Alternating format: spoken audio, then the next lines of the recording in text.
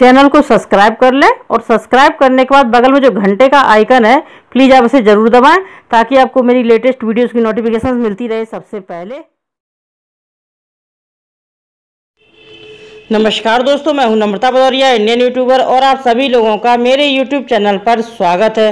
तो दोस्तों, आज की इस वीडियो में मैं आपको बताने जा रही हूँ कि आप किसी भी प्रकार से घर में काम करते हुए जल चुके, जल गए हैं। तो आप तुरंत उसका घर में क्या उपचार करेंगे ताकि आपको कोई भी जलन ना हो, कोई भी सूजन ना आए और कोई भी छाला ना पड़े। तो ये देखिए दोस्तों, यहाँ पे मैंने लिया है ग्रसलीन और ये ग्रसलीन आपको घर में ही मिल जाएगा क्योंकि आप इस ग्रसलीन को सर्दियों में यूज़ करते हैं।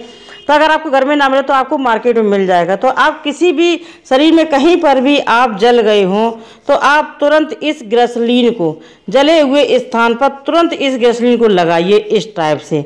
आप थोड़ा सा और ले लें, मैंने यहाँ पे थोड़ा सा लिया है, मैं फिर से और थोड़ा ले लूँगी। तो इस तरीके से आप इस ग्रसलीन को उस जले हुए स्थान पर लगा लें तो आपके ना तो ये दर्द ही होगा और ना आपके जले के स्थान पर आपको छाले पड़ेंगे और ना ही चमड़ी लाल होगी। यानी कि जो आपका हाथ का जो स्किन है, वो बिल्कुल लाल भी नहीं होगा। तो इस तरीके से तीनों में से कोई भी चीज़ नहीं होगी और आपका जो जलन है, जो जले का निशान है, वो भी अच्छा हो जाएगा। तो इस तरीके से आप इसको यूज़ कीजिएगा और आपको तुरंत आराम मिलेगा, क्योंकि जब जल जाते हैं तो बहुत तेज़ दर्द होता है और बिल्कुल मतलब परेशानी हो जाती है। तो आप इसको यूज़ करेंगे तो इसकी ठंडक से, गैसलीन की ठंडक से आपको ना तो जलन होगा, ना ना ही आपके छाले होंगे। तो दोस्तों, अगर आपको मेरा वीडियो पसंद आया हो तो प्लीज़ वीडियो को लाइक करें, चैनल को सब्सक्राइब करें और वीडियो शेयर करना बिल्कुल ना भूलें। दोस्तों, ये छोटी छोटी प्रॉब्लम जो हम लोग घर में काम करते हैं तो ये प्रॉब्लम आ जाती हैं।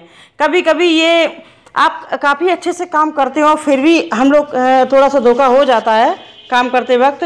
तो हम लोग जल जाते हैं तो इस ग्रसलीन से आपको पूरा फ़ायदा मिलेगा। और किस किस को फ़ायदा मिला मिला है, प्लीज़ आप मुझे कमेंट करके बताइए।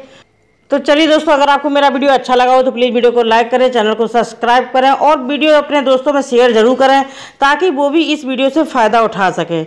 तो चलिए दोस्तों, मैं मिलती हूँ एक नई वीडियो के साथ, तब तक के लिए नमस्कार।